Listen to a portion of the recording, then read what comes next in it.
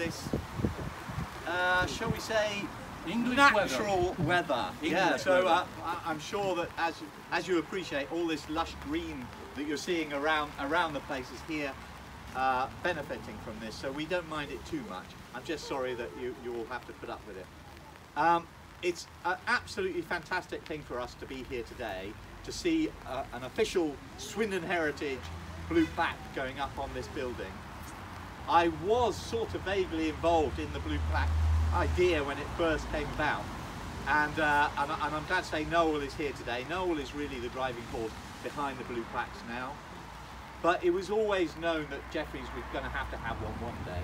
And we've got several plaques already out on the wall and around the garden and things. But this is the real one. A blue plaque has got to be the thing, hasn't it? and the person I really need to thank is also here today, and that's Roy Cartwright, who is in amidst you. You can usually hear him. Uh, Roy actually was the one who very kindly donated to have this plaque uh, made for us. So yes, quite right. Thank you, Roy. My pleasure.